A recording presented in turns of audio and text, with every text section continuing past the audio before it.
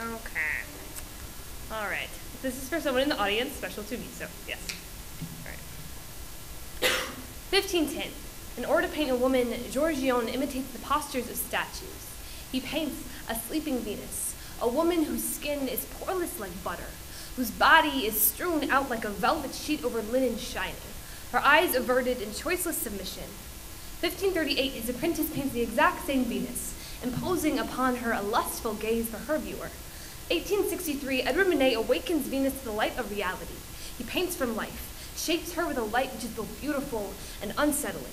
He concludes centuries worth of unconscious goddesses with Olympia the mortal, whose short, natural body and unsubmissive stare refuse, so let her be the subject of someone's fantasy.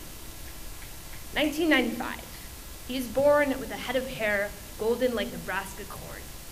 2006. His favorite color is yellow. 2013.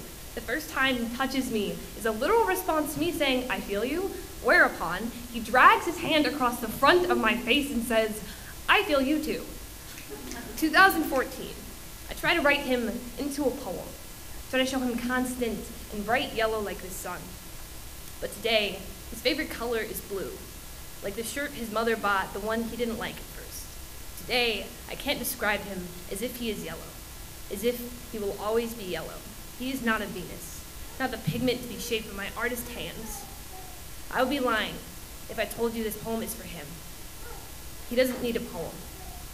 I need a poem to document his changing colors, the beauty in each hue, to document the growing way he loves me, so that I don't forget to love myself like that, so that I don't forget to love him like that, to document the growing way he loves himself, so that I can, so I can live in it, like a new skin.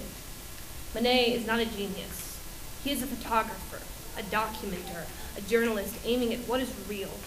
Olympia is the soul, the reference image that made the, the painting worth looking at. The beauty in creation was reference from God.